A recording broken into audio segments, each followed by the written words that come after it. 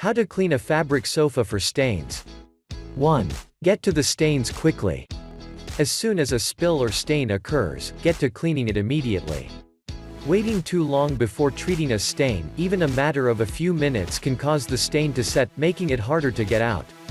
2. Check the manufacturer's recommendations. Before using any cleaning detergents or solutions, check the manufacturer's instructions for care, which can usually be found on the sofa's tags. Failing to use safe cleaning products could mean permanently damaged upholstery. 3. Check the cleaning codes for your fabric sofa. You know those random letters on your sofa's tags? Those are actually codes. Check out below for the list of codes and what they mean.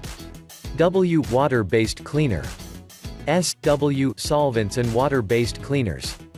S. Solvents. A solvent is a type of solution that uses a cleaning chemical as the main component. 4.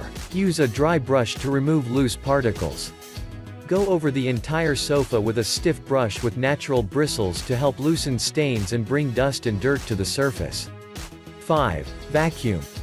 Before scrubbing and cleaning your fabric sofa, use a handheld vacuum to remove crumbs and any other loose particles. This will make it easier to identify and focus on troublesome stains when it comes time to clean. 6. Clean with baking soda. You can also use a homemade baking soda solution for any areas of deep-set stains. In a bowl, mix together equal parts baking soda and water. For either the dry or wet solution, let the baking soda sit for 15 to 20 minutes. Once the baking soda has fully absorbed the stain, vacuum it up with a brush attachment. And as with all types of cleaning solutions, always spot treat a test portion of the sofa before cleaning it fully. 7. Spot treat with the recommended agent. Whether you use a water-based cleaner or a solvent, or both, follow the instructions on the packaging.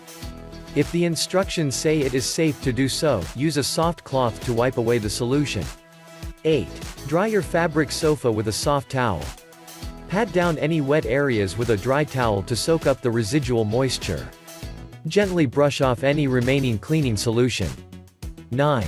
Let your fabric sofa air dry. Let the upholstery air dry overnight, and enjoy a fresh sofa in the morning.